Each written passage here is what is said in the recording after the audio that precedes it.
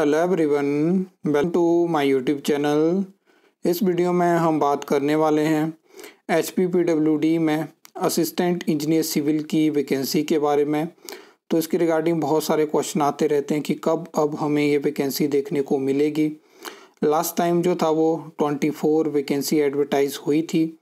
जिसमें से कि सिक्सटीन वैकेंसी ही फिलअप हो पाई और वहाँ से आठ पोस्टें वैकेंट गई थी, क्योंकि वो एक्स सर्विसमैन की वैकेंसी थी।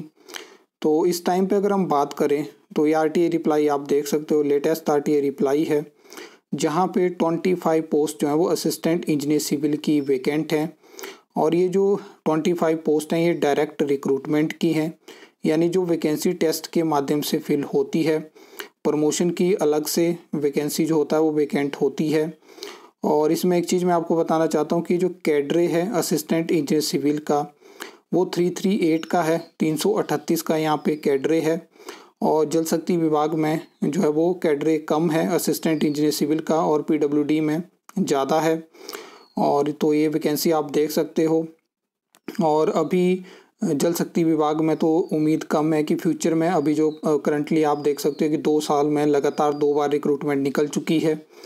अब वहाँ पे आपकी उम्मीद टोटली अब आप दो तीन साल तो भूल जाओ कि आपको उस डिपार्टमेंट में कोई वैकेंसी देखने को मिलेगी।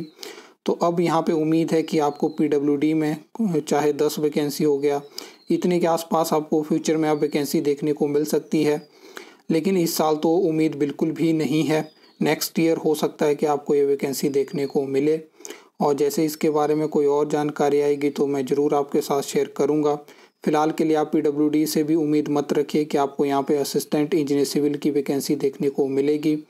आई होप आपको ये वीडियो अच्छी लगी होगी इन्फॉर्मेटिव लगी होगी तो वीडियो को लाइक कमेंट शेयर कर सकते हो। चैनल को सब्सक्राइब कर सकते हो। फर्दर न्यू अपडेट्स के लिए।